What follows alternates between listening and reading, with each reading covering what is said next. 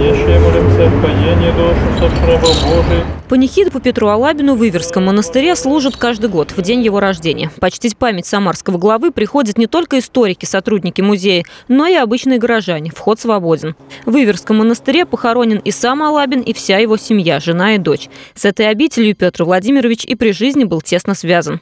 При отъезде из Вятки Петр Алабин покупает лотерейный билет и выигрывает по тем временам неслыханную сумму в 200 тысяч рублей. В это же время умирает его дочь. Все эти деньги он жертвует на строительство храма в Иверском монастыре. Современники о Петре Алабине могли смело сказать «это наше все».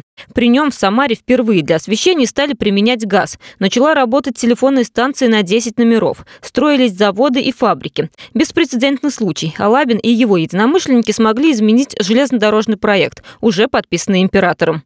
Алабин был в числе тех людей, которые добились переноса железнодорожной ветки, которая должна была пройти значительно южнее Самары. На мост через Самару, железнодорожный мост, это уже просто часть того проекта, по которому Самара становилась центром, одним из э, центров э, железнодорожного движения в России.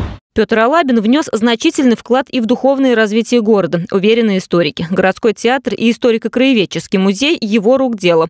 Биография Петра Владимировича изучена хорошо, но и белых пятен в ней достаточно.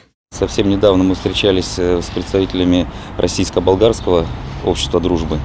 И, возможно, вот э, в рамках этой работы откроются новые обстоятельства э, поездки Алабина в Болгарию.